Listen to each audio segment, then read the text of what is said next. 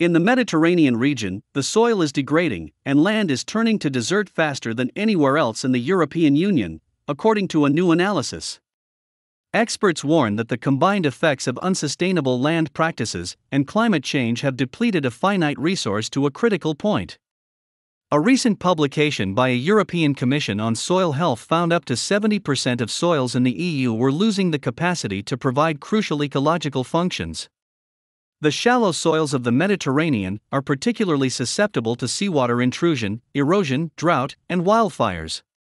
In fact, this region has the highest erosion rates in the EU and the lowest levels of soil organic matter. Meanwhile, dense populations in this region have also led to sprawling streets of concrete or asphalt and ground contamination with heavy metals and pesticides. When soil is healthy, it stores and drains water. It also grows 95% of the food humans eat. When soil is degraded, its basic life giving processes don't function properly.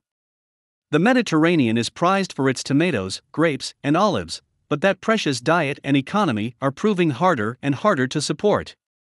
Despite this, very little research has been done on the potential contributors of soil decline in the region. Many studies included in the review focused on soil degradation by erosion, but only a few considered the effects of biological degradation. Ants and earthworms are known to help regulate nutrients below ground, and their actions support the very integrity of the soil. Have these ground dwelling communities changed with human influence?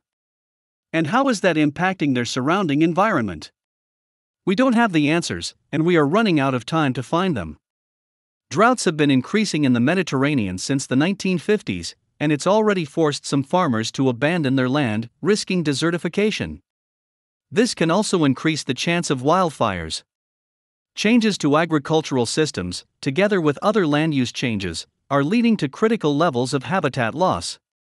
This is a particular concern since the Mediterranean region is characterized by extraordinary biodiversity, with large numbers of endemic species.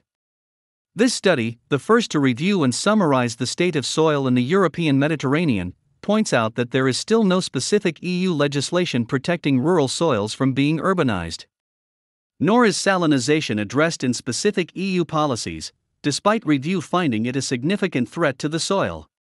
Overall, there is a general lack of regular systematic assessments of Mediterranean soils and of a formal authority to compile and synthesize available information. If the EU is to prevent further soil decline, it needs to stop treating its ground like dirt.